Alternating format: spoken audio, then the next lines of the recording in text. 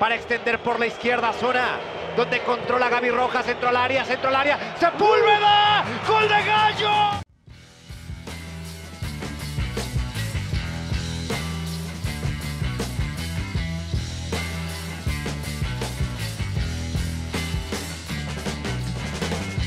Ah, sí, o sea, Maradona yo lo tengo como un ídolo, como un dios del fútbol, pero yo era muy chico, solamente lo pude por videos o por historias que me ha contado mi abuelo, mi papá.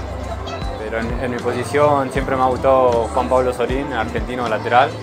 Y nada, cuando estoy aburrido entro y, miro videos de él, siempre, siempre se aprende algo nuevo y, nada, para mí él es mi referente en mi posición.